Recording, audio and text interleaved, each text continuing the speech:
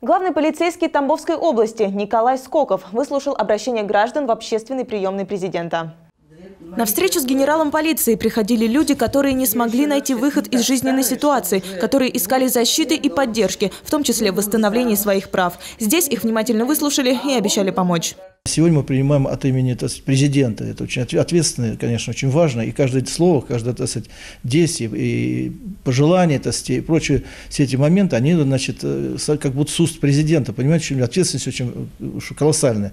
Но уже опыт работы, вы понимаете, значит, появляется. Значит, у нас системность в этой работе есть только в взаимодействии с аппаратом президента совместно вот приводим, принимаем, чтобы никакой фальши, никаких браков в работе. На слушаниях были и представители ключевых профильных управлений МВД Тамбовской области. Именно им Николай Скоков поручал разобраться в той или иной проблеме. Включение в работу непосредственного руководителя означает только одно – каждый случай будет под пристальным вниманием, а решение не заставит себя ждать.